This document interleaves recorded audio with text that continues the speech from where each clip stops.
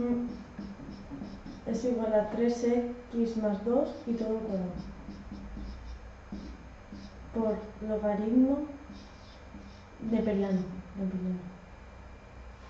De 1 más x al cuadrado. Esta es la derivada de un producto. Sería la derivada de esto, que es una función compuesta. 2 por 3x más 2 por 3. Derivada de esta. por 3. Claro. En el, en el esto me viene por 3x. No, no. Por 3. No. Derivada de esto. Por esto sin derivar.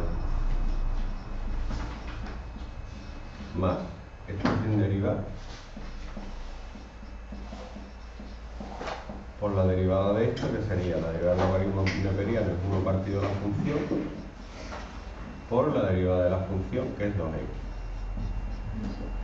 Ok.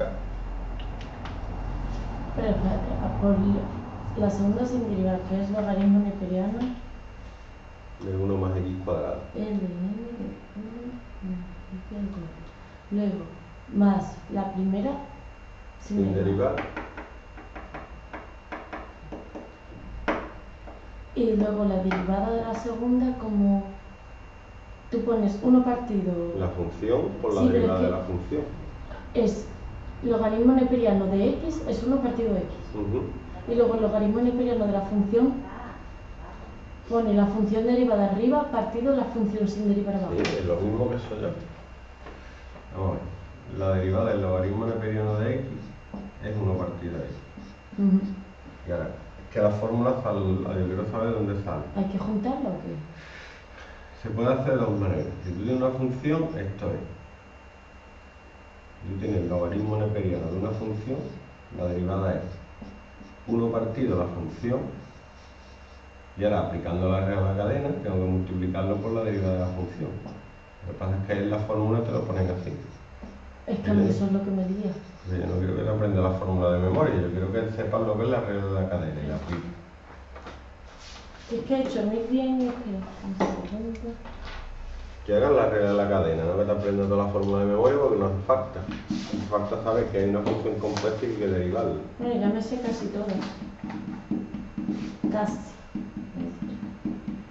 Esto es igual a 1 partido la función por la función derivada. Vale. Entonces lo puedes poner así y aprendértelo, pero es que yo prefiero que sepas de dónde salen las cosas. No... Además, no hace falta aprenderse 20 fórmulas si se sabe la regla de la cadena. Por 1 partido 1 más x. Ya está. ¿Y, ¿Y hay que calcular algo más? ¿Hay? No. Sí, ¿no? No, ¿qué? Sacar factor común, Bueno, sea. sí, puedes sacar 3x más 2, pues tampoco te vas a sacar de pobre.